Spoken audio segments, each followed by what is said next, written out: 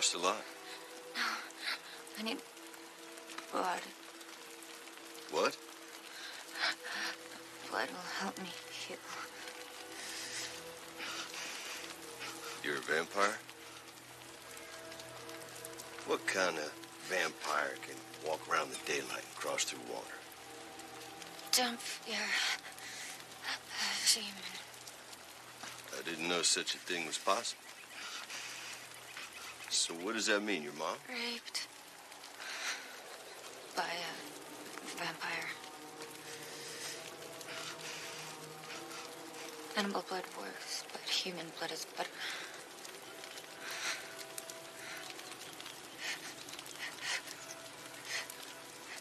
How much do you need?